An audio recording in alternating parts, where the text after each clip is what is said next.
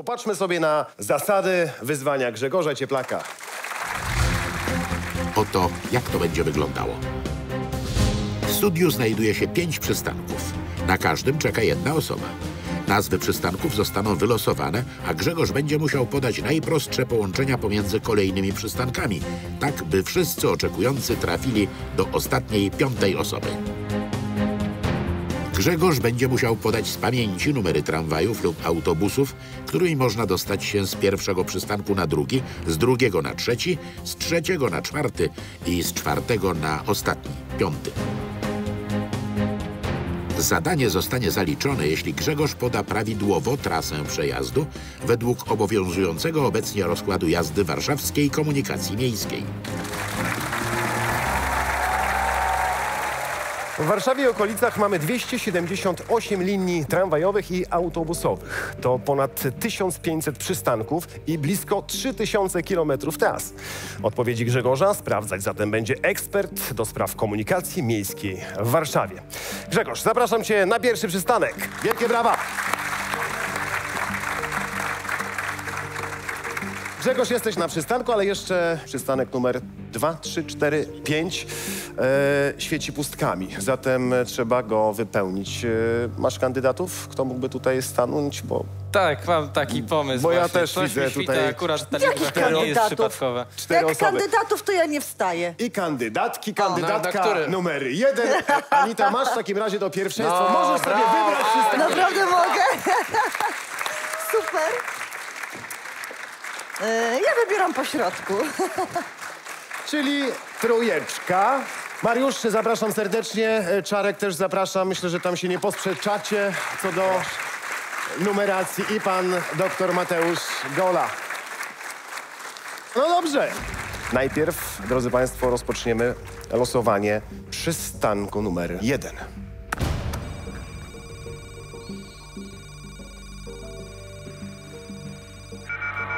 PKP Anin. PKP Ani. Jesteś Grzegorz na przystanku PKP Anin, Cezary Żak. Teraz wylosujemy nazwę twojego przystanku. Gdzie mnie zawiało? Działkowa. Działkowa! Ulica Działkowa, no bo gdzie ja mogę? No. Grzegorz, rozpoczynamy twoje wyzwanie. Wyznacz optymalną trasę pomiędzy przystankiem numer jeden i przystankiem numer dwa. Ja znajduję się na przystanku PKP Anin na Wawrze, co prawda bliskim, ale to nadal jest... To są przedmieścia głębokie Warszawy, a Działkowa nie ułatwia zadania, ponieważ to są również e, głębokie przedmieścia, takie magazynowe wręcz, na dalekich Włochach, po drugiej stronie Wisły. E, także kilka kilometrów do przejechania jest. E, myślę, że z PKP Anin, jeżeli nie mogę korzystać z kolei, to 521 linia.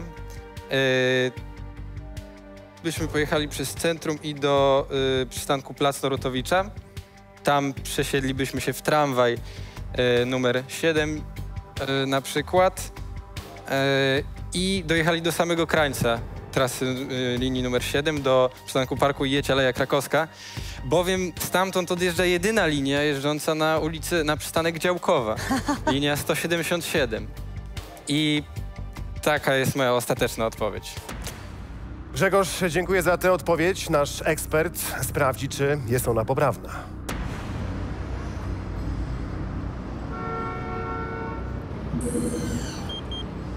Jest to połączenie poprawne! Wielkie brawa!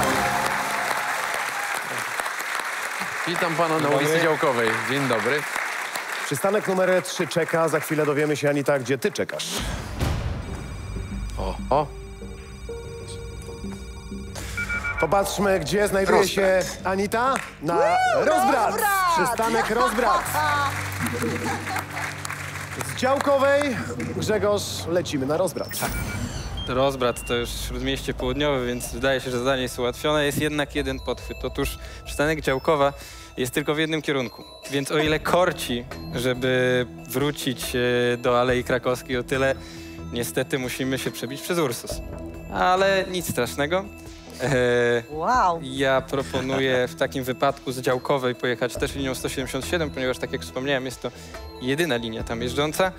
E, I na Ursus na przykład... Tutaj wymaga to chwili, chwili zastanowienia. Bardzo się przyjemnie z panem podróżuje, także spoko. Zaraz będziemy robili wesoły autobus. Czekam na PKS. Oj, Mariusz bez czekał. Mariusz wszedł pod daszek i całą budkę zajął. Ja bym 177 pojechał do, do Placu Tysiąclecia i tam przesiadł się w linię 187, która już dojeżdża bezpośrednio na rozkład. Dowiedzmy się zatem, czy Grzegorz się nie pomylił. Czy miał rację?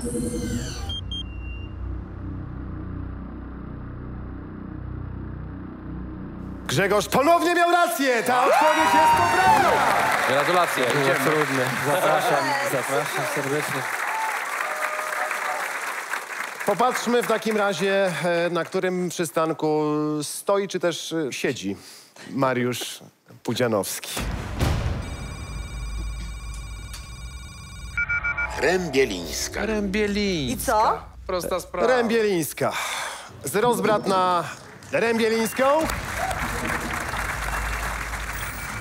E, Dla największej wygody ja bym pojechał Armii Ludowej, cofnął się o kilka przystanków e, do, y, do ulicy...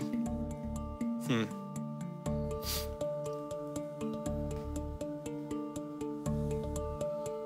Ja bym się cofnął o kilka przystanków nawet do Placu Konstytucji, e, linią na przykład y, 525, a następnie y, podjechał tramwajem numer 4.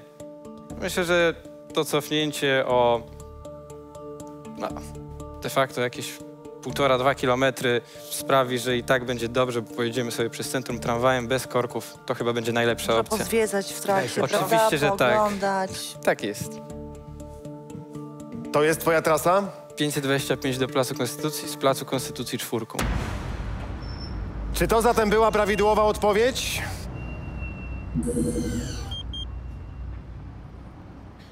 Tak, to była poprawna odpowiedź!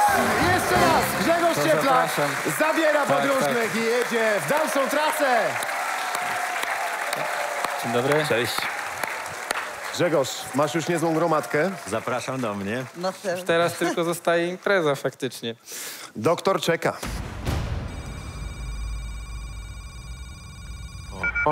Wawrzyszewska. Wawrzyszewska.